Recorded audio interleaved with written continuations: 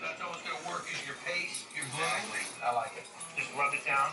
And after it's done, We let it sit for eight days, rinse it, and then put it in its own lard. Cook it for You want something? You want something?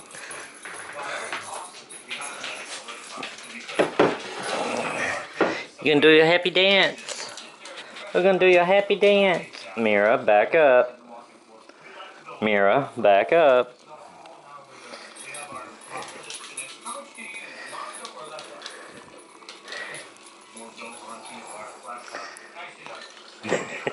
All right.